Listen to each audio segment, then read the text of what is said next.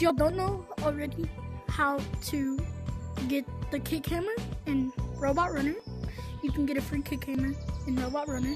But if you don't know how to get it, I'm gonna show you today. So let's get into it.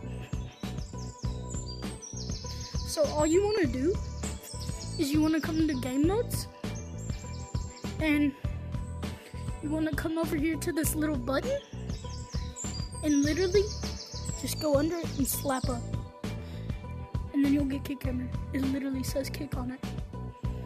Um, be careful not to hit yourself in the head because you will get kick yourself. And try not to abuse the power of kick. Um, but um, yeah, that'll be the end of it.